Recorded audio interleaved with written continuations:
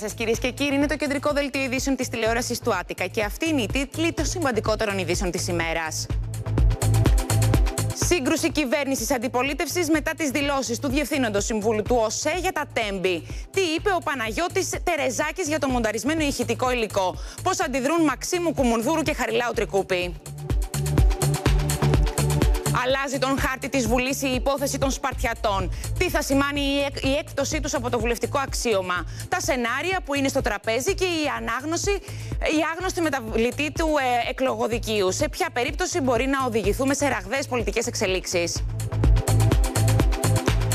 Στο μικροσκόπιο τα μέτρα για τον σχολικό εκφοβισμό, επικοινωνιακή αντίληψη και ξεπερασμένες τιμωρητικές μεθόδους χρεώνει στην κυβέρνηση η αντιπολίτευση. Τι λένε οι εκπαιδευτικοί, τι απαντάει το Υπουργείο Παιδείας;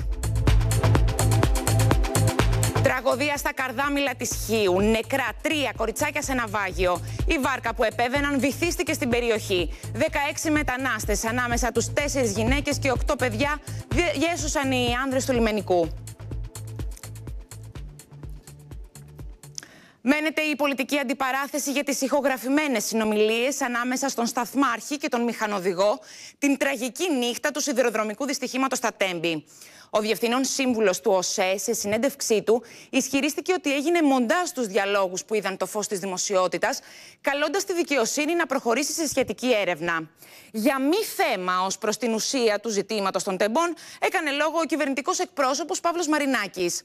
Έντονες είναι οι αντιδράσεις των κομμάτων της αντιπολίτευσης, με τον ΣΥΡΙΖΑ να ρωτάει την κυβέρνηση αν τελικά ενδιαφέρεται να πληροφορηθεί ποιος αλλίωσε το ηχητικό υλικό μετά από ένα δυστύχημα που στήχησε τη ζωή σε 57 ανθρώπους και τον Νίκο Ανδρουλάκη να μιλάει για αδίστακτο σχέδιο της κυβέρνησης που στοχεύει στη χειραγώγηση της κοινή γνώμης παρουσία μου στο... Σε νέο κύκλο πολιτικής σύγκρουσης έχουν οδηγήσει οι δηλώσεις του Διευθύνοντα Συμβούλου του ΟΣΕ Παναγιώτη Τερεζάκη, που στην πραγματικότητα επιβεβαιώνουν τα περιαλίωση των ηχητικών συνομιλιών μεταξύ σταθμάρχη και μηχανοδηγών το μοιραίο βράδυ της τραγωδίας στα Τέμπη, που άφησε πίσω τη 57 νεκρούς. Να υποβαθμίσει το θέμα, επιχειρεί η κυβέρνηση με τον Υπουργό Δικαιοσύνης Γιώργο Φλωρίδη να δηλώνει ότι κάτι τέτοιο είναι αντικείμενο άλλης έρευνας και πως σημασία έχει ότι ο ανακριτής έχει στα χέρια του ατόφιο του υλικού. Η πεποίθηση η δική μου είναι, η απόλυτη όμως, ότι στη διεξαγόμενη ανάκριση Μάλιστα.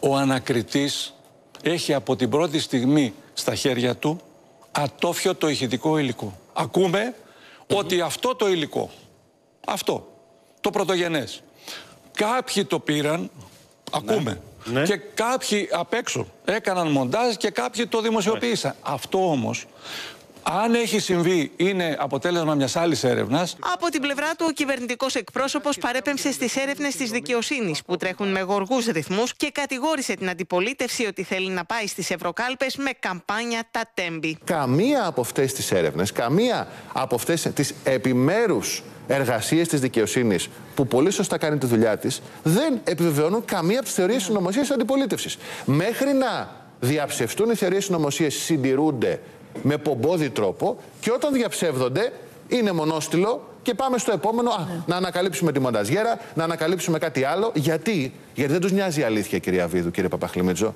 Τους νοιάζει να πολιτικοποιήσουν ένα τραγικό δυστύχημα, να εκμεταλλευτούν τον πόνο των ανθρώπων ναι. και να κάνουν ευρωεκλογές με καμπάνια Πάντως.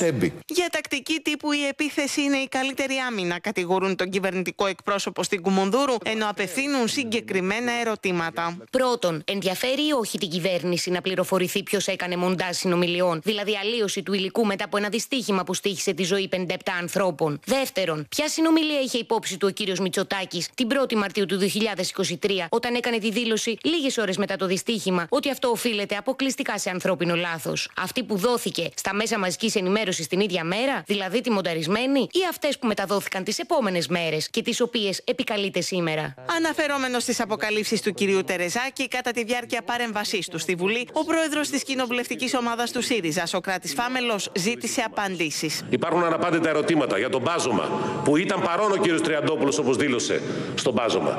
Για τα έφλεκτα υλικά στο φορτίο της εμπορικής αμαξοστοιχίας. Και αντί για απαντήσεις, η κυβέρνηση έχει επιλέξει και δυστυχώς επέλεξε και η κοινοβουλευτική ομάδα της Νέας Δημοκρατίας να χειροκροτάει και να δίνει συγχαρητήρια στον κύριο Καραμαλή τη μέρα που συζητάγαμε για την πρόταση της πιστεία. Τους τόνους ανέβασε ακόμα περισσότερο με δήλωσή του ο Νίκος Ανδρουλάκης, αποδίδοντας ευθύνες στην κυβέρνηση τόσο για την τραγωδία όσο και για την επιχείρηση χειραγώγησης των πολιτών. Έπρεπε να καταθέσουμε πρόταση δυσπιστία και να πάω να καταθέσω αναφορά στην εισαγγελέα του Αρίου Πάγου για να μάθουμε ότι η κυβέρνηση δεν είναι μόνο υπεύθυνη για την τραγωδία, αλλά για ένα αδίστακτο σχέδιο χειραγώγησης της κοινής νόμης. Έχουμε χρέος και θα κάνουμε ό,τι περνά από τα χέρια μας για να οδηγηθούν οι υπεύθυνοι της τραγωδίας και αυτού του αδίστακτου σχεδίου χειραγώγησης στη δικαιοσύνη. Να δώσει σαφές απαντήσεις στα ερωτήματα το πώς έγινε αυτή η παραποίηση, από ποιους και, και με βάση ποιανόν εντολή. Η εισαγγελέα θα παρεμβεί. Πρέπει να συγκροτηθεί προανακριτική επιτροπή. Είναι ζήτημα εμπιστοσύνης των πολιτών προς τους θεσμούς και προς την πολιτεία να αποδοθεί δικαιοσύνη για το έγκλημα των τεμπών. Στο μεταξύ, μιλώντας στο Οικονομικό Φόρουμ των Δελφών σήμερα, η εισαγγελία του Αρίου Πάγου Γεωργία Αδηλίνη διέψευσε κατηγορηματικά ότι παρέπεμψε ποτέ τη Μαρία Καριστιανού στην Εκκλησία όταν εκείνη τη ζήτησε δικαίωση για τα θύματα του σιδηροδρομικού δυστυχήματος στα Τέμπη. Διαψεύδω κατηγορηματικά ότι αντί να διαβεβαιώσω οποιοδήποτε συγγενή προσέφυγε σε μένα ότι θα κάνουμε ό,τι απαιτείται για να αποδοθεί δικαιοσύνη, τον παρέπεμψα για παρηγοριά στην Εκκλησία. Διαψεύδω κατηγορηματικά ότι συμπεριφέρθηκα με αυτό τον κινησμό που μου αποδίδεται σε οποιοδήποτε συγγενή θύματος για οποιοδήποτε ζήτημα σχετικά με τα τέμπη. Αυτό θα ήταν απάνθρωπο, επιτρέψτε μου να πω. Θα ήταν καλύτερο η κορυφή της δικαιοσύνης να αφήνει τους σχολιασμούς για όσα λέχθηκαν στο γραφείο της και να μας πει γιατί μετά από τόσους μήνες είμαστε υποχρεωμένοι να ψάχνουμε ακόμα για υπολείμματα των νεκρών παιδιών μας ή εκρηκτική ύλη σε παρακείμενα χωράφια. Θέλω επίσης να αναφέρω στην κυρία Δηλίνη ότι δεν είναι αποκοίηματα της φαντασίας μας όλα όσα έχουμε δηλώσει. Και αυτό τεκμηριώνεται από το πολύ απλό. Υπήρχαν και μάρτυρες. Σε κάθε περίπτωση πρόκειται για μια υπόθεση ανοιχτή πληγή στο σώμα της κοινωνίας που κάθε άλλο παρά θα κλείσει άμεσα, ιδίως αν δεν αποδοθεί δικαιοσύνη. Πάμε τώρα στους πολιτικούς μας συντάκτες, Γιάννη Μπασκάκη, Ιάσονα Σχοινά Παπαδόπουλο και Μαριτίνα Ζαφυριάδου, για να δούμε πώς εξελίσσεται η πολιτική αντιπαράθεση για τα τέμπη. Γιάννη, ποια είναι η εκτίμηση στο Μαξίμου και πώς σκέφτονται να αντιμετωπίσουν το θέμα της τραγωδίας των τεμπών, που συντηρείται όπως βλέπουμε στην επικαιρότητα; Στο Μεγάλο Μαξίμου Αθηνά επιχειρούν να υποβαθμίσουν το θέμα της αλλίωσης των διαλόγων του Σταθμάρχη με τους μηχανοδηγούς. Επαναλαμβάνουν την κυβερνητική γραμμή που λέει ότι δεν υπάρχει ζήτημα μονταζιέρας και ότι δεν ε, υπάρχει ζήτημα ε, αλλίωσης στοιχείων με σκοπό την παραπλάνηση των πολιτών και κατά τα λοιπά επιλέγουν την πόλωση, επενδύουν στην πόλωση σε μια προσπάθεια να συγκρατήσουν διαρροές ψηφοφόρων προς άλλους πολιτικούς χώρους και ιδίως προς τα δεξιά της Δημοκρατίας που βλέπουν ότι αυτές οι διαρροές είναι έντονες. Σε αυτό το πλαίσιο κατηγορούν την αντιπολίτευση για προεκλογική καμπάνια σε ένα τραγικό δυστύχημα. Ε, επιπλέον, στο Μέγαρο Μαξίμου έχουν επιλέξει έναν ακόμα δρόμο. Α, επιχειρούν να στρέψουν τους προβολείς της δημοσιότητας σε άλλα ζητήματα, σε ζητήματα της, καθημερινότητα, της καθημερινότητας των πολιτών. Στην κυβέρνηση επιχειρούν να δείξουν ότι προσπαθούν να τα αντιμετωπίσουν αυτά τα ζητήματα, θέλοντας να ανακόψουν την κυβερνητική φθορά που αποτυπώνται στις δημοσκοπήσεις. Έχουμε συνδεθεί τηλεφωνικά και με τον Ιάσονα Σκηνά Παπαδόπουλο. Ιάσονα, ο ΣΥΡΙΖΑ σηκώνει το θέμα και μάλιστα σήμερα, όπως είδαμε, ο πρόεδρος της κοινοβουλευτικής ομάδας του κόμματος, ο Σοκράτης Φάμελος, έκανε λόγο για απόφαση της κυβέρνησης να προστατεύσει τα μεγάλα τζάκια, αναφερόμενος στον ε, Κώστα Καραμανλή. Ποια είναι η τακτική της Κουμουνδούρου; Και πριν από λίγο Αθηνά και ο αρχηγός αξιωματική αντιπολίτευσης, ο Στέφανο Κεσαλάκης, αναφέρθηκε στο περιστέρι ξανά στην υπόθεση των τεμπών και είναι δεδομένο ότι η Κουμουνδούρου θα πορευθεί όλο το επόμενο διάστημα, έχοντας ως προμετωπίδα της την ε, υπόθεση της 28 Φεβρουαρίου του 2023, καθώς συνεχίζουν να καταλογίζουν στην κυβέρνηση ένα διπλό έγκλημα αφενός ε, από τη μία των τεμπών και από την άλλη τη συγκάλυψή του, όπως αναφέρουν χαρακτηριστικά. Και σε αυτό το πλαίσιο θα συνεχίσουν να θέτουν διαρκώς στην δημόσια συζήτηση συγκεκριμένα ερωτήματα τα οποία από την πλευρά του ΣΥΡΙΖΑ Προοδευτικής Συμμαχίας τα θεωρεί κέρια και εκτιμούν μάλιστα στελέχη της αξιωματικής αντιπολίτευσης ότι οι απαντήσεις τους εκθέτουν την ίδια την κυβέρνηση. Και μάλιστα σε αυτό το πλαίσιο ε, τέθηκαν και από την πλευρά του, της αξιωματικής αντιπολίτευσης τέσσερα ερωτήματα ε, σήμερα τα οποία ακούσαμε προηγουμένως και στο βίντεο της καλής συναδέλφου της Μαρτίνας Ζαφυριάδου. Βέβαια αυτό το οποίο επαναλαμβάνουν είναι πως η κυβέρνηση οφείλει να απαντήσει σε κάποια απλά ζητήματα. Πρώτον, εάν ήξερε ε, ή δεν ήξερε για το ζήτημα του μπαζώματος. Δεύτερον, εάν, ποιος, ποιο πρόσωπο είναι αυτό το οποίο είχε τη δύναμη να παραγγείλει το μπάζωμα και αυτό να γίνεται την ίδια στιγμή. Το τρίτο ερώτημα είναι αν ήξερε ή δεν ήξερε η κυβέρνηση όπως λέει στην Κουμουνδούρου για τη μονταζιέρα των συνομιλιών την ίδια νύχτα του εγκλήματος ε, και ποιο είχε τη δύναμη να ε, παραγγείλει όπως χαρακτηριστικά αναφέρουν το μοντάζ στις συνομιλίες να γίνεται την ίδια στιγμή και ποιος εν τέλει είχε τη δύναμη να συγκαλύψει όπως ανέφερε χαρακτηριστικά και ο αρχηγός της αξιωματικής αντιπολίτευσης απόψε ένα κρατικό έγκλημα στην Ελλάδα Αθηνά. Μάλιστα, να έρθουμε τώρα και σε σένα Μαριτίνε Ζαφυριάδου, καθώς το Πασόκ ήταν εκείνο που υπέβαλε την πρόταση δυσπιστίας κατά της κυβέρνησης για την υπόθεση των τεμπών. Πώς, κάνει, πώς κρίνει η Χαριλάου Τρικούπη τις εξελίξεις στο θέμα της τραγωδίας.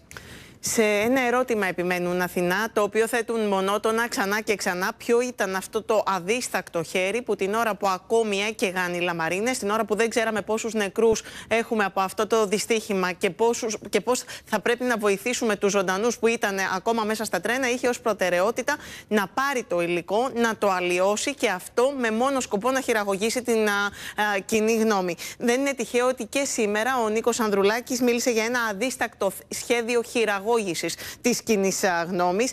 Θύμισε ότι ήταν εκείνος που υπέβαλε την πρόταση δυσπιστίας κατά της κυβέρνησης, εκείνος που πήγε στην εισαγγελία του Αριού Πάγου και κατέθεσε αναφορά για τα τέμπη. Και στην Χαριλάου Τρικούπη επιμένουν ότι κάθε άλλο παρασταματά εδώ ο αγώνας τους για αποκάλυψη της αλήθειας στο δυστύχημα των τεμπών. Ε, θα συνεχίσουν μέχρι να, να δοθούν κανονικές πιστικές απαντήσεις. Στην πραγματικότητα λένε ότι στην κυβέρνηση ακολουθούν ένα μοτίβο mm συγκάλυψης σε κάθε σκάνδαλο, μόνο που στα τέμπη αυτό δεν μπορεί να συνεχιστεί γιατί έχει αφήσει πίσω του 57 νεκρούς.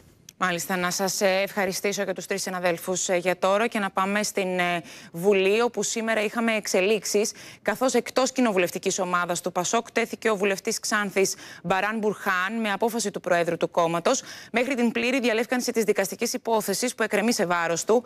Ενώ παράλληλα ανακοινώθηκε και η ανεξαρτητοποίηση άλλου ενός βουλευτή των Σπαρτιατών. Να συνδεθούμε με τη Βουλή λοιπόν και την Αλεξάνδρα Ντούσκα, που έχει όλες τις πληροφορίες. Αλεξάνδρα, να ξεκινήσουμε από την υπόθεση Μπουρχάν. gaan. Ακριβώς Αθηνά για το θέμα του Μπαράν Μπουρχάν συνεδρίασε σήμερα η Επιτροπή Δεντολογία της Βουλής, όπου αποφάσισε ομόφωνα να εισηγηθεί στην Ολομέλεια την άρση ασυλίας του ανεξάρτητου πλέον ε, βουλευτή. Ο κύριος ε, ο κύριος Μπαράν φέρεται να εμπλέκεται σε υπόθεση, ε, σε υπόθεση παράνομο συνταγογραφήσεων που εκρεμεί από το 2014, τότε που δεν ήταν ο ίδιος βουλευτής. Πάντως, ο μειονητικό ε, βουλευτής δεν αποδέχτηκε σήμερα στην Επιτροπή τις ε, κατηγορίες και ζήτησε από τα μέλη της Επιτροπής να ε, την άρση ασυλίας τους. Τώρα την τελική απόφαση θα τη λάβει Ολομέλεια με ονομαστική ψηφοφορία, ενδεχομένως και την επόμενη εβδομάδα, Αθηνά. Αλεξάνδρα, όπως προαναφέραμε, σήμερα είχαμε την ανεξαρτητοποίηση ενός ακόμα βουλευτή από τους Παρτιάτες. στη σκιά, μάλιστα, της άσκησης ποινικών διώξεων από το σε βάρος βουλευτών του κόμματος με την κατηγορία της εξαπάτησης του εκλογικού σώματος. Ναι, ακριβώς. Συνεχίζονται οι αναταράξεις στο στρατόπεδο των Σπαρτιατών, καθώς άλλος ένας βουλευτής, πέμπτος ε, στη σειρά, ε, σήμερα ανεξαρτητοποιήθηκε. Ε, αφορμή για τη φυγή του Διονύση Βαλτογιάννη ήταν η ποινική δίωξη, η άσκηση ποινικής δίωξης από την εισαγγελία του Αρίου Πάγου μετά τις ε, κατηγορίες του Βασίλη, του Βασίλη Στίγκα, τον οποίο ο κύριος Βαλτογιάννης ουσιαστικά έχρισε υπεύθυνο για τις δικαστικές περιπέτειες των ε, βουλευτών Αθηνά. Πλέον οι Σπαρτιάτες ε, αριθμούν 7 ε, βουλευτές. είναι αποδυναμωμένοι. Ωστόσο δεν ναι, διαλύεται ναι, η ομάδα. Θα τα δούμε όλα και στην συνέχεια. Να σε ευχαριστήσω πολύ. Τρεις περισσότερους ακριβώς από τον ελάχιστο αριθμό για, να, για, το, για τα προνόμια της κοινοβουλευτικής τους ομάδας. Να σε ευχαριστήσω πολύ, Αλεξάνδρα Ντούσκα. Και εμείς να μείνουμε στην περίπτωση των Σπαρτιατών, καθώς η άσκηση ποινικών διώξεων εναντίον τους όλα δείχνουν πως θα αλλάξει αλλάξει την ανθρωπογεωγραφία της Βουλής. Να καλησπερίσω στο στούντιο τον Βασίλη Σκουρή για να δούμε τι πρέπει να περιμένουμε και ποιο σενάριο αντιμετώπισης των Σπαρτιατών φαίνεται πως κλειδώνει. Νομίζω ότι το χρονοδιάγραμμα, ο δικός χάρτης είναι Αθηνά περίπου προσδιορισμένος. Καταθέσαν αίτηση ε, καθόδου στις ευρωεκλογές mm -hmm. Σπαρτιάτες. 19 του μήνα θα ληφθούν οι αποφάσεις. Αν εγκριθεί την επόμενη μέρα τρία τουλάχιστον κόμματα. Φέρεται ότι μετά τη Νέα Δημοκρατία και το ΠΑΣΟΚ και ο ΣΥΡΙΖΑ πιθανότητα θα καταθέσουν αίτηση, ε, ε, μνημόνιο, ένα κείμενο προς, όπως κάνανε με τους, Σπαρτιά, με τους, με τους Έλληνες του Κασιδιάρη mm. στις εθνικές εκλογές στο δικαστήριο. Να Μπράβο, για να μην μπορέσουν να, να κατέβουν. Και όλες οι πληροφορίες επιμένουν ότι στις 24 Απριλίου θα απαγορευτεί η είσοδος δεν θα επιτραπεί η είσοδος των Σπαρτιατών, στις, ε, η κάθοδος των Σπαρτιατών στις ευρωεκλογές. Αμέσως μετά, εκ των πραγμάτων, θα πρέπει το εκλογοδικείο να κρίνει τι θα γίνει με την ε, συμμετοχή τους ε, στην Βουλή και εδώ οι πληροφορίες επιμένουν και είναι το επικρατέστερο, αν όχι βέβαιο σενάριο, ότι θα διαμεριστούν οι έδρες ε, στα κόμματα τα υπόλοιπα μέσα στη Βουλή. Εδώ υπάρχουν διάφορα σενάρια, αν αυτό θα γίνει με βάση το υπόλοιπο που έχει το κάθε κόμμα σε κάθε περιφέρεια, αν θα γίνει με βάση την αντιπροσωπευτικότητα των κομμάτων. Α, δεν μπορούμε να το ξέρουμε αυτό ακόμα. Υπάρχουν πληροφορίες, αλλά δεν μπορούμε να πούμε ότι είναι πληροφορίες τέτοιες που μπορούμε, τόσο επικρατέστερες δηλαδή, που μπορούμε να τις μεταφέρουμε. Υπάρχει τώρα ε, ένα ερώτημα.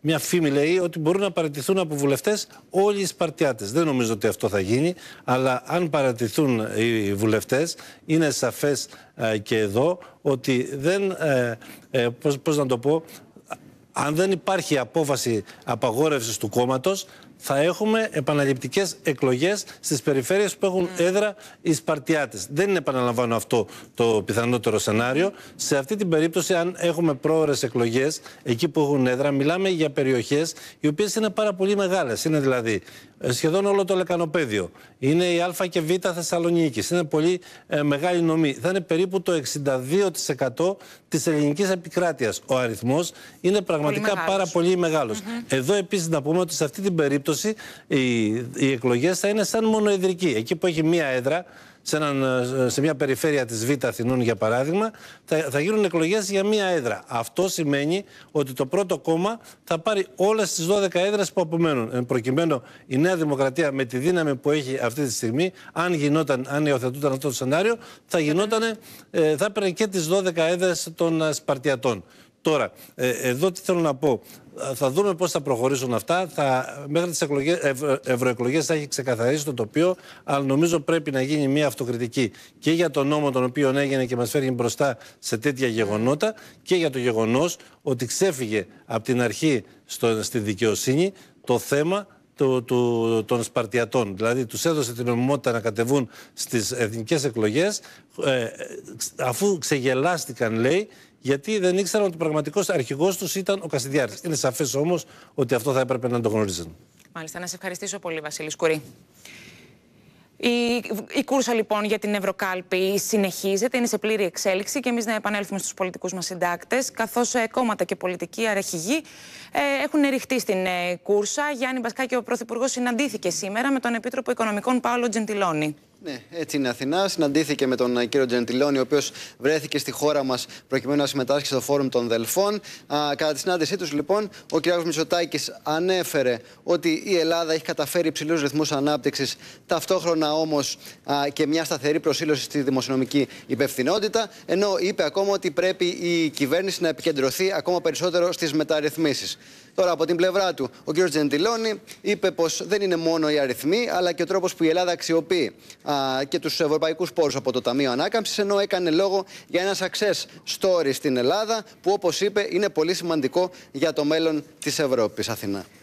Να σε ευχαριστήσω και να δούμε τις κινήσεις ε, του ΣΥΡΙΖΑ, καθώς μετά τη Νέα Ιωνία σήμερα γίνεται εκδήλωση παρουσίασης νέων προσώπων που έχουν θέσει υποψηφιότητα για το ευρωψηφοδέλτιο του ΣΥΡΙΖΑ, αυτή τη φορά στο Περιστέρι. Γεια σου. Ακριβώς. Ε, Αθηνά, 25 συγκεκριμένα συμμετέχοντες και συμμετέχουσες στις κλιματικέ εκλογές της 14η Απριλίου παρουσιάστηκαν ε, κατά την εκδήλωση στο Περιστέρι, όπως προείπες, με τον Στέφανο Κασελάκη να επιμένει σε μια λογική που βασίζεται στο προγραμματικές θέσεις παντού. Ε, αυτό είναι το μοντέλο που αναμένεται να ακολουθήσει ο αρχηγό της αξιωματικής αντιπολίτευσης, κάτι το οποίο αποτυπώθηκε και πριν από λίγο στην ομιλία του. Μάλιστα, κατηγόρησε την κυβέρνηση αναφορικά με τις προτάσεις για το bullying. Ε, έκανε λόγο για επικοινωνιακό αντιπερισπασμό με εντολή Greenberg. Μάλιστα, διερωτήθηκε με καυστικό τρόπο ότι σκοτώνουν τις γυναίκες ε, έξω από τα αστυνομικά τμήματα. Α μιλήσουμε για bullying. Ε, Στρέφοντας με αυτόν τον τρόπο τα πειρά του ε, κατά της ε, κυβέρνησης ε, ενώ ε, παρέθεσε μια σειρά προτάσεων από την πλευρά τους ΣΥΡΙΖΑ που αφορούν τόσο το ζήτημα της αντιμετώπισης της ε, ενδοσπονδικής βίας και όχι μόνο. Είπε ότι πρέπει να, να προβλεφθεί ε, ένα μέτρο το οποίο θα δίνει ψυχολόγους με διδακτική ώρα σε κάθε σχολείο mm-hmm. ακριβώς όπως ο γυμναστής και ο καθηγητής των καλλιτεχνικών να προβλέπεται επανόρθωση αντί για σκληρή τιμωρία ενώ αναφέρθηκε εκ νέου στα μέτρα του ΣΥΡΙΖΑ για την ασφάλεια και την αστυνομία αλλά και στα τέμπη Αθηνά. Να δούμε και τον σχεδιασμό του Πασόκ εν ώψη των ευρωεκλογών. Μαριτίνα, αύριο ο κύριος Ανδρουλάκη θα βρεθεί στο φόρουμ των Δελφών.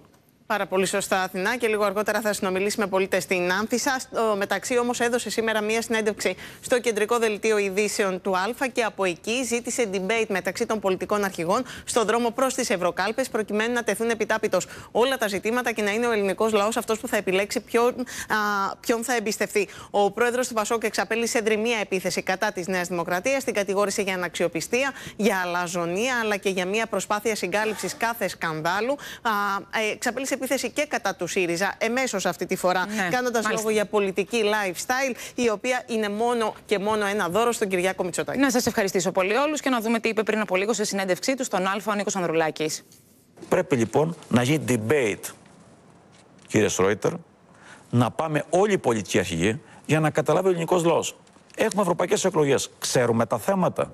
Ξέρουμε τις σημαίνει στις Βρυξέλλες. Μιλάτε για να διεκδικήσουμε. εκλογέ τώρα για να εγώ λοιπόν λέω σήμερα και δεσμεύομαι και κάνω πρόταση σε όλους τους πολιτικούς αρχηγούς των κυριοβουλευτικών κομμάτων να γίνει debate με τους όρους των εθνικών εκλογών για να καταλάβει ο ελληνικός λαός ποιον αξίζει να εμπιστευτεί για να πετύχει όσο γίνεται περισσότερα σε ευρωπαϊκό επίπεδο.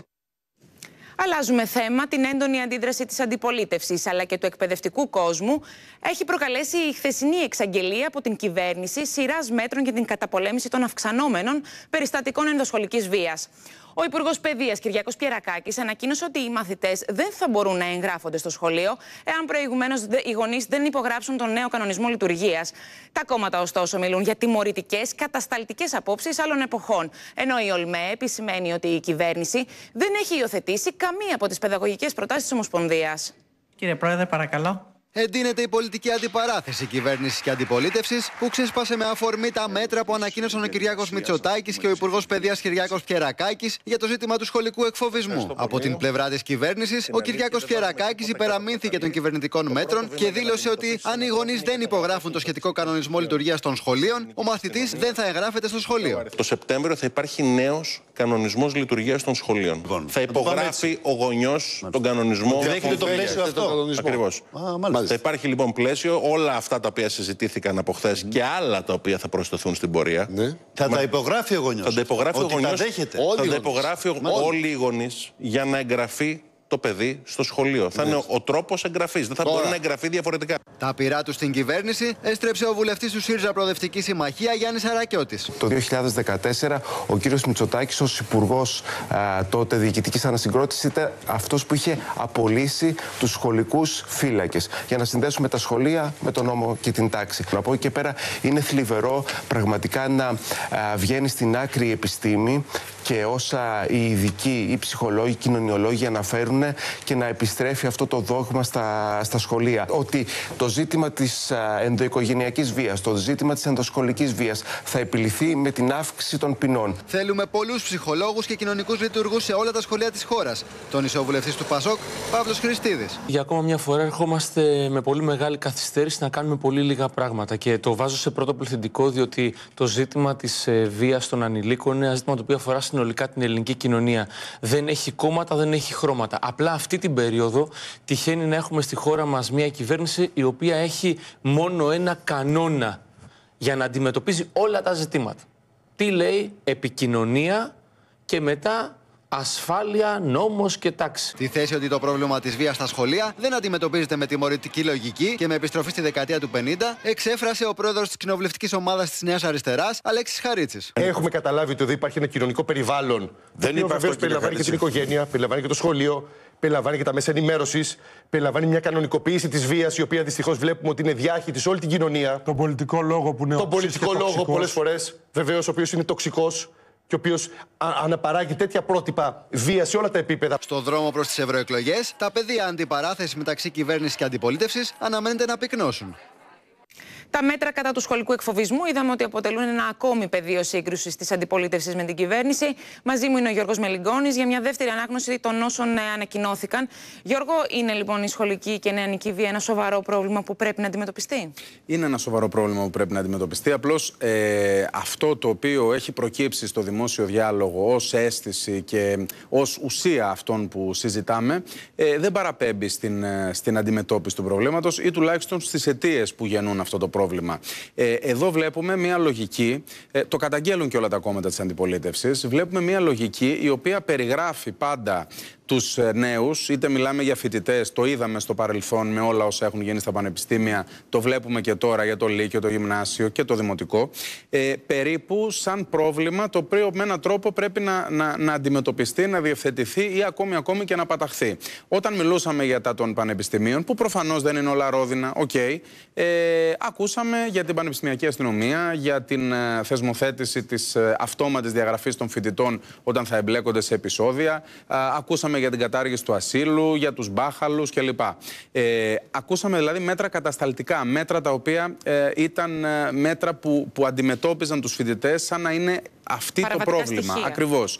Ε, τώρα το ίδιο πάνω κάτω, παρότι είναι φιλόδοξο στόχος το ένας ψυχολόγος ανά σχολείο, δεν είναι, δεν είναι όλα τα μέτρα κατασταλτικά και τιμωρητικά. Όμως στο τέλος, επειδή οι προσλήψεις αργούν, ακόμη παίρνουμε αναισθησιολόγους και ασθενοφόρα, θυμίζω, ε, έχω την, ε, την υποψία και το φόβο ότι αυτό που θα μείνει για τα επόμενα αρκετά χρόνια δεν θα είναι το ένας ψυχολόγος ανά σχολείο, θα είναι τη, η πλατφόρμα για να καταδίδει ο ένας τον άλλον, θα είναι ε, ο διαχωρισμός των ε, απουσιών, θα είναι η άρον-άρον και με ε, δι- συνοπτικές διαδικασίες αλλαγής σχολικού περιβάλλοντος, η πενθήμερη αποβολή, όλα όσα τέλος πάντων. Είναι ε, επιδερμικά λοιπόν, λες τα, τα μέτρα. είναι παλιακά. Είναι όλα όσα απορρίφθηκαν ως νοοτροπία μιας άλλης εποχής, που δεν λειτουργήσαν εδώ που τα λέμε και τότε.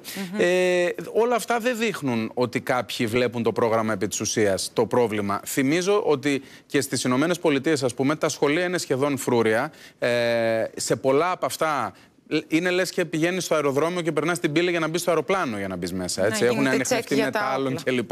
Ε, δεν σταμάτησαν οι πυροβολισμοί στα αμερικανικά σχολεία. Ε, εδώ μιλάμε για ευρύτερες πολιτικές. Ε, όταν, για παράδειγμα, όχι μόνο δεν κάνεις τίποτα για την ελαστική εργασία, αλλά όλη σου η πολιτική βοηθάει στο να είναι ε, η εργατική μας ζωή και άρα η ζωή μας λάστιχο, μετά αυτό ε, δεν πρέπει να απορούμε γιατί οι γονείς είναι λιγότερες ώρες στο σπίτι και άρα μπορούν λιγότερες ώρες να δουλέψουν και να ασχοληθούν με το παιδί και να αποτραπούν αυτά τα φαινόμενα. Όταν φτάσουμε στο να πούμε και να ελέγξουμε ποιος έβγαλε το μαχαίρι και γιατί, τότε είναι αργά. Το θέμα είναι τι κάνουμε για να μην αισθανθεί κανένα παιδί την ανάγκη ή τη διέξοδο ή ό,τι άλλο θέλετε να βάλετε, μην παρεξηγηθώ, ε, να βγάλει ή να πάρει κάποιο μαχαίρι. Εκεί είναι το θέμα. Εκεί είναι η πηγή του προβλήματος. Να σε ευχαριστήσω πολύ, Γιώργο.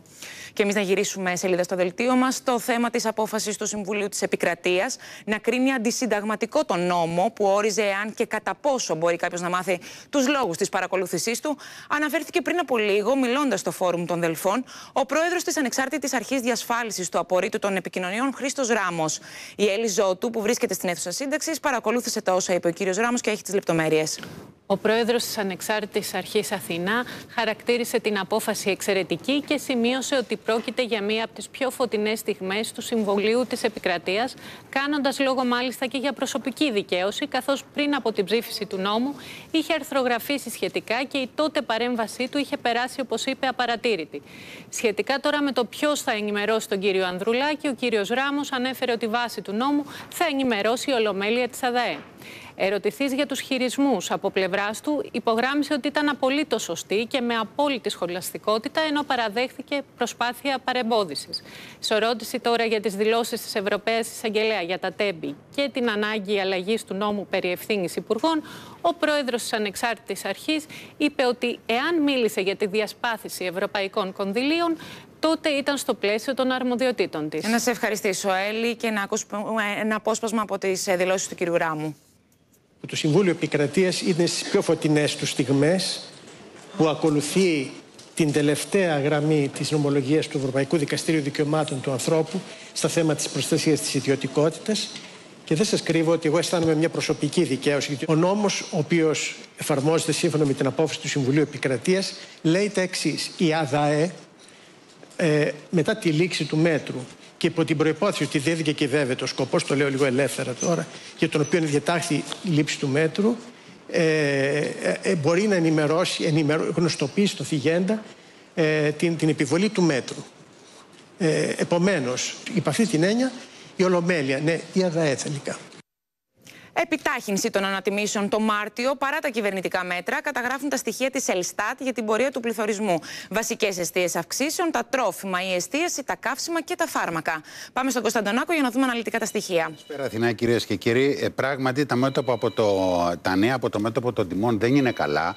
Ο πληθωρισμός βρέθηκε στο υψηλότερο σημείο από τις αρχές του έτους, το 3,2% από 2,9% που ήταν το Φεβρουάριο και 3,1% τον Ιανουάριο βασικός τροφοδότης του πληθωρισμού εξακολουθούν να είναι τα τρόφιμα, όπου οι ανατιμήσεις τρέχουν με ρυθμό 5,3%. Ας δούμε τις υψηλότερες αυξήσεις τιμών στην ομάδα της διατροφής. Στην κορυφή το ελαιόλαδο με 67,2% και ακολουθούν φρούτα με 12,7%, νερά αναψυκτικά και χυμή με 11,4%, ψάρια με 5,7%, γλυκά παγωτά και σοκολάτα με 4,7%, τα λαχανικά με 4,1% και τέλος τα κρέατα με 3%. Εκτός όμως από τα τρόφιμα, έχουμε μεγάλες αιστείες ακρίβειας και σε άλλες ομάδες αγαθών και υπηρεσιών. Τα ασφάλιστρα υγείας έχουν ακριβήνει 14,4%. Το πετρέλαιο θέρμανσης έχει ανέβει 11,4%. Το πακέτο διακοπών 8,6%. Ξενοδοχεία και εστίαση, οι ρυθμοί αύξησης των τιμών τρέχουν με 6,4%. Κινηματογράφοι με 6,3%. Και τέλος, έχουμε μεγάλες αυξήσεις στον τομέα της υγείας με τα φάρμακα και τις ιατρικές υπηρεσίες να σημειώνουν αύξηση 5,7%.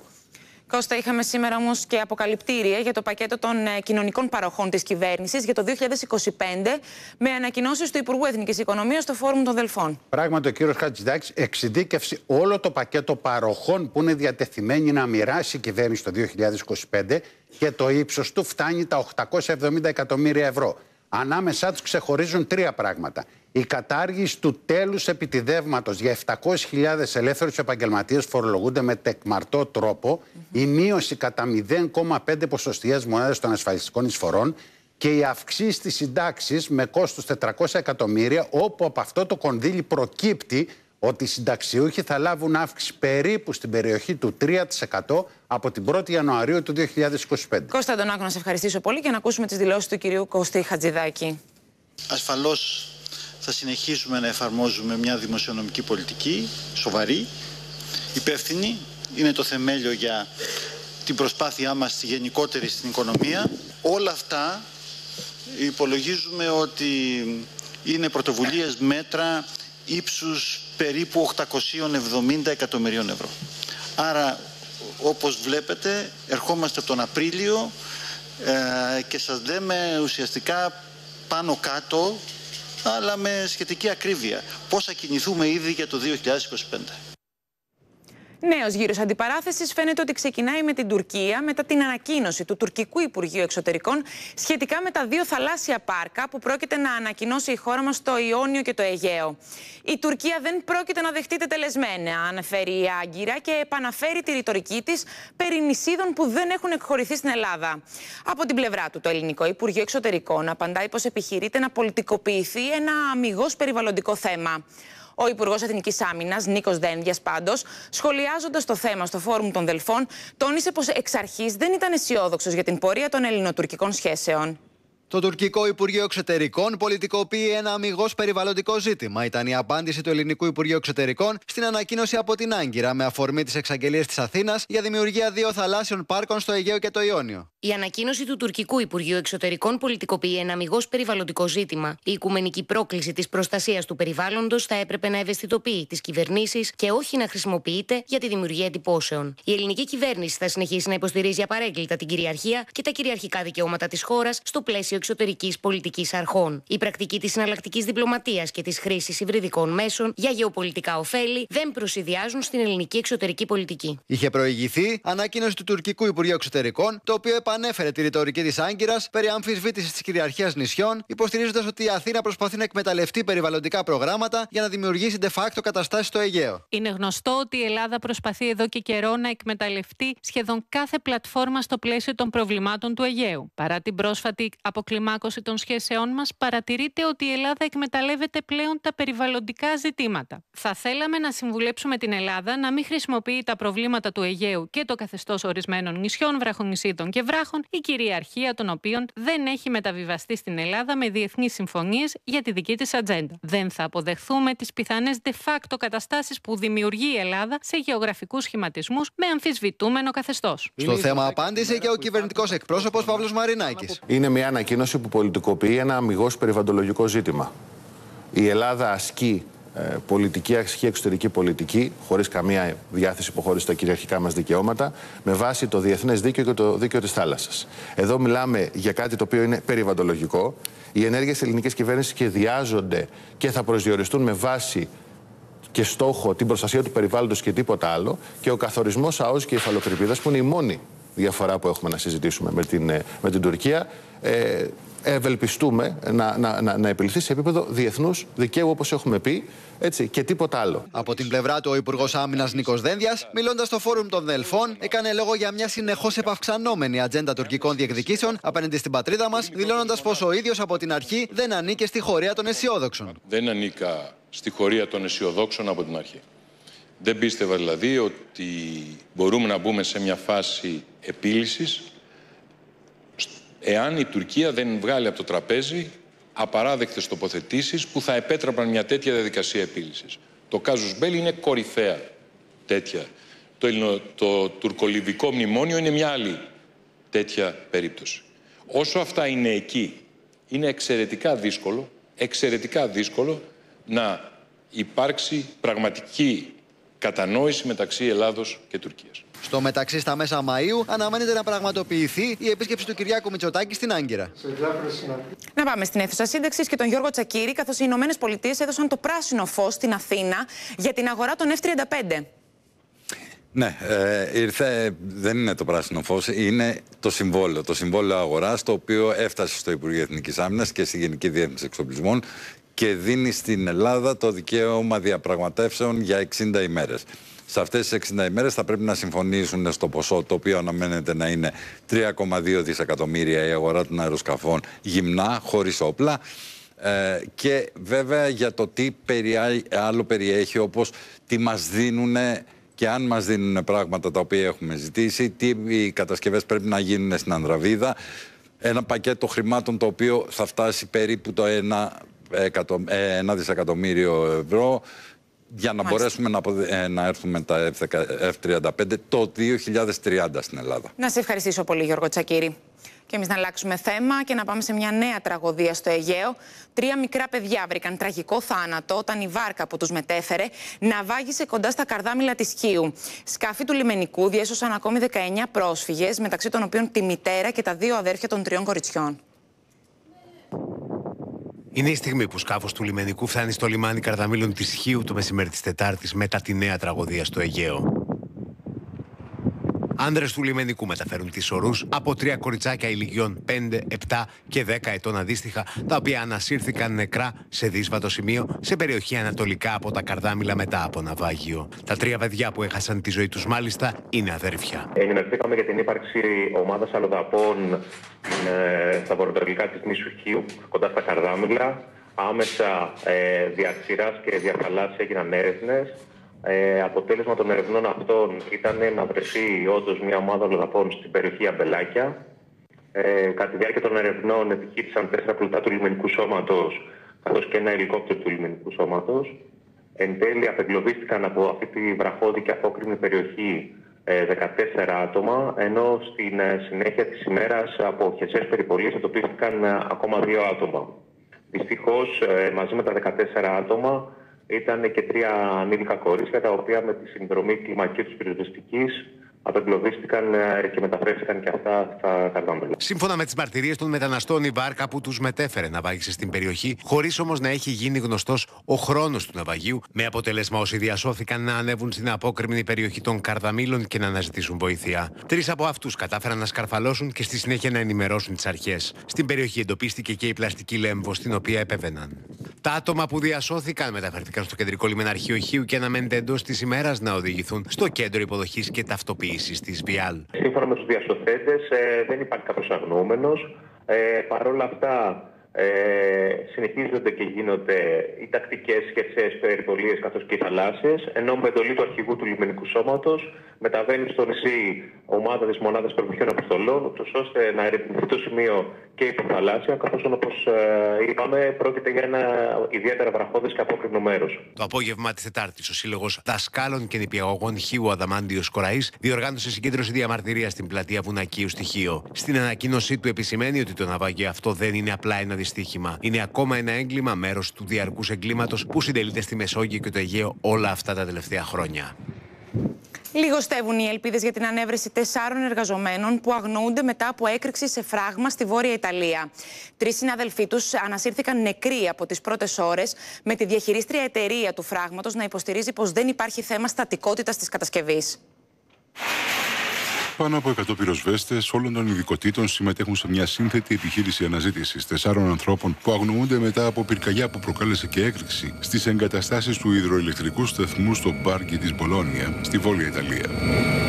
Τουλάχιστον τρεις άνθρωποι έχασαν τη ζωή τους και άλλοι πέντε τραυματίστηκαν κατά την έκρηξη στις εγκαταστάσεις του φράγματος στη λίμνη Σουβιάνα, μία από τις τρεις τεχνητές λίμνες που τροφοδοτούν το σταθμό παραγωγής ενέργειας. Situazione, una situazione molto difficile, eh, l'acqua sta salendo eh, abbastanza rapidamente, ha invaso eh, il piano Menotto, almeno 50 cm d'acqua, fino a stanotte lavoravamo. Στην επιχείρηση αναζήτηση συμμετέχουν ομάδε διτών και αλπινιστών, καθώ και ειδικοί τοπογράφοι λόγω του σύνθετου του εγχειρήματο. Αν και οι ελπίδε να βρεθούν οι τέσσερι αγνοούμενοι λιγοστεύουν. I soccorritori stanno facendo il massimo, purtroppo le condizioni di recupero non sono facili perché sono davvero estreme, la profondità in cui è avvenuto questo scoppio è molta, si parla di 70 metri, c'è stato anche un crollo strutturale, eh, l'incendio adesso è stato domato, stanno intervenendo anche i sommozzatori perché stiamo parlando comunque di 70 metri sotto il livello del lago. Μέχρι στιγμής η διαχειρίστρια εταιρεία δεν έχει προχωρήσει σε ανακοίνωση για τα αίτια της έκρηξης. Ωστόσο, στελέχη της αναφέρουν πως η λεκάνη του φράγματος δεν έχει υποστεί ζημιά και ότι το εργοστάσιο παραγωγής ενέργειας ήταν εκτός λειτουργίας στη στιγμή του συμβάντος, επομένως δεν υπήρξε καμία επίπτωση στην παροχή ηλεκτρικής ενέργειας. Ανησυχητικές διαστάσεις έχουν πάρει τα περιστατικά ενδοοικογενειακής βίας που καταγγέλλονται στις αρχές. Είναι ενδεικτικό ότι το τελευταίο 24ωρο σχηματίστηκαν 141 δικογραφίες. Οι ειδικοί ψυχικής υγείας, μιλώντας στο Άτικα, επισημαίνουν πως είναι ένα σημαντικό βήμα το γεγονός ότι όλο και περισσότερες γυναίκες μιλούν χωρίς να φοβούνται το στιγματισμό. Καθημερινό φαινόμενο πάνε να γίνουν καταγγελίες για ενδοοικογενειακή βία από γυναίκες που ζουν την κακοποίηση δίπλα στους συντρόφου τους. Ενδεικτικό της έξαρσης αυτών των περιστατικών είναι πως μόνο το περασμένο 24ωρο σχηματίστηκαν 141 δικογραφίες, έγιναν 73 συλλήψεις, ενώ 5 θύματα ζήτησαν να διαμείνουν σε δομή για την προστασία τους. Ανάμεσα στα περιστατικά και η καταγγελία ενός 15χρονου παιδιού στη Θεσσαλονίκη, που κάλεσε το 100 με σκοπό να καταγγείλει για ενδοοικογενειακή βία τον πατέρα του προς τη μητέρα του, κάτι που όπως φαίνεται συνέβαινε συχνά. Τι λένε όμως οι ειδικοί για την έξαρση που παρατηρείτε; Η αλήθεια είναι πως ε, δεν ε, είναι ένα φαινόμενο που απλά τώρα το παρατηρούμε. Σίγουρα η ενδοκρινιακή βία υπήρχε, υπάρχει και ευχόμαστε να μην συνεχίσει να υπάρχει. Αυτό τώρα που παρατηρούμε είναι μια έντονη καταγραφή και μια έντονη επικοινωνία πάνω σε αυτό το φαινόμενο. Το τελευταίο καιρό βλέπουμε πάρα πολλά περιστατικά ενδοοικογενειακής βίας, τα οποία όντως δημιουργούν την αίσθηση ότι το φαινόμενο είναι σε έξαρση. Το πρόβλημα είναι ότι αντικειμενικά μιλώντας δεν είμαστε σε θέση να γνωρίζουμε ούτε αν υπάρχει έξαρση, ούτε εάν ποια μπορεί να είναι η διάσταση αυτής της έξαρσης, εάν τελικά υπάρχει. Οι ειδικοί εξηγούν ότι στο παρελθόν τα θύματα απέφευγαν να καταγγείλουν τα περιστατικά. Απέφευγαν γνώριζαν εύλογα ότι δεν θα τύχουν ευνοϊκής αντιμετώπισης εκ μέρους της ελληνικής αστυνομίας. Απέφευγαν διότι ήξεραν ότι δεν θα τύχουν κοινωνικής στήριξης. Στις παλαιότερες γενιές αυτό ήταν λίγο πολύ ως θέσφατο, ως δεδομένο. Από τη στιγμή λοιπόν που κάποιος μιλούσε, στιγματοποιούταν. Τώρα πια δεν ισχύει πια με τον ίδιο τρόπο και είναι μια πολύ καλή ευκαιρία για την κοινωνία μας και για τους ειδικούς να χρησιμοποιηθούν για να το αντιμετωπίσουμε συνολικά. Τα τελευταία χρόνια οι γυναίκες μιλάνε περισσότερο και δεν φοβούνται το στιγματισμό, λένε οι ειδικοί. Τα τελευταία χρόνια υπάρχει μια τάση του κόσμου να, μπο- να αντιμετωπίζει το πρόβλημα. Δηλαδή, όσο καλλιεργούμαστε ως λαός, ως άνθρωποι, ως μονάδες και αντιμετωπίζουμε το πρόβλημα χωρίς να φοβόμαστε το στίγμα, που είναι πολύ σοβαρό στην εποχή μας ακόμα και τώρα, μπορεί κάποιος να μιλήσει πιο άνετα. Το να εκφραστεί, το να μπορέσει να μιλήσει σε ειδικό, το να πάρει θάρρος και να αντιμετωπίσει μια κατάσταση που δεν είναι ευχάριστη, είναι ένα πολύ σημαντικό βήμα. Θα προκαλέσει όμως η διαχείριση της αστυνομίας στο περιστατικό των Αγίων Αναργύρων ένα επιπλέον φόβο στις κακοποιημένες γυναίκες που θέλουν να καταγγείλουν τους κακοποιητές τους. Βραχυπρόθεσμα πιστεύω ότι μπορεί να έχει ανασταλτική επίδραση. Αργότερα αυτό είτε θα ξεχαστεί είτε θα υπάρξουν περιστατικά που θα τύχουν της σωστής αντιμετώπισης από την αστυνομία. Οπότε τα θύματα θα καταλάβουν ότι το περιστατικό των Αγίων Αναργύρων ήταν ένα άθλιο μεν, αλλά όχι απαραίτητα ενδεικτικό του μέλλοντος. Οι ειδικοί εξηγούν ότι το πρόβλημα αντιμετωπίζεται μόνο αν εντοπιστεί η ρίζα του και ότι είναι η ευκαιρία να δοθούν ουσιαστικές λύσεις τώρα που το πρόβλημα εκφράζεται ευκολότερα. Και τώρα να παρακολουθήσουμε την πρόγνωση του καιρού από τη μετεωρολόγο μας Ελίνα Καρέτσου.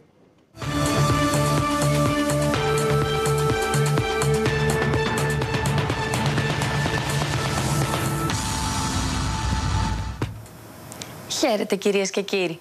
Την Πέμπτη, σε όλη τη χώρα, ο καιρός θα είναι γενικά έθριος και θα επικρατήσει παντού ηλιοφάνεια, ενώ μόνο στα δυτικά και τα νότια θα αναπτυχθούν λίγες αραιές νεφώσεις κατά τόπου και κατά διαστήματα. Οι άνεμοι στα πελάγη θα πνέουν από βορείε διευθύνσεις στο Ιόνιο 2 με 4 μποφόρ και στο Αιγαίο 4 με 6 και τοπικά 7 μποφόρ. Η θερμοκρασία δεν θα σημειώσει αξιόλογη μεταβολή και θα φτάσει στα υπηρετικά τους 26 με 28 βαθμούς και στα νησιά τους 22 με 25 βαθμούς Κελσίου. Στην Αττική αναμένεται γενικά ηλιοφάνεια. Η θερμοκρασία θα κυμανθεί από 13 έως 26 βαθμούς Κελσίου. Οι άνεμοι θα πνέουν από βορείες διευθύνσεις 3 με 5 και στα ανατολικά έως 6 και πρόσκαιρα τοπικά 7 μποφόρ. Στη Θεσσαλονίκη αναμένεται γενικά ηλιοφάνεια. Η θερμοκρασία θα κυμανθεί από 13 έως 24 και τοπικά και 25 βαθμούς Κελσίου. Οι άνεμοι στον Θερμαϊκό θα πνέουν από μεταβλητές διευθύνσεις 2 με 3 και πρόσκαιρα τοπικά 4 μποφόρ. Κυρίες και κύριοι, καλό σας βράδυ!